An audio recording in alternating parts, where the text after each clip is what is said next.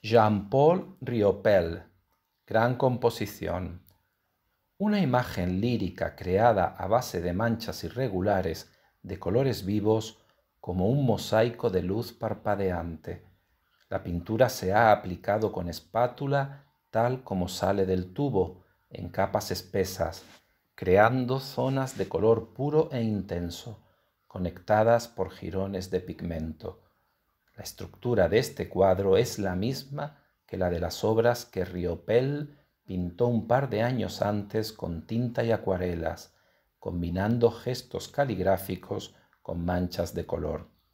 Este es uno de los primeros óleos en los que utilizó dicha técnica y en ella demuestra su dominio de la pintura espesa de colores vivos. La fuerte textura de la superficie y la manera de aplicar la pintura conectan esta obra con el movimiento arte informal. Aunque nació en Montreal, Riopel vivió en París desde 1948. Hace tiempo que abandonó el surrealismo, pero continúa pintando obras abstractas y experimentando con la aplicación de la pintura.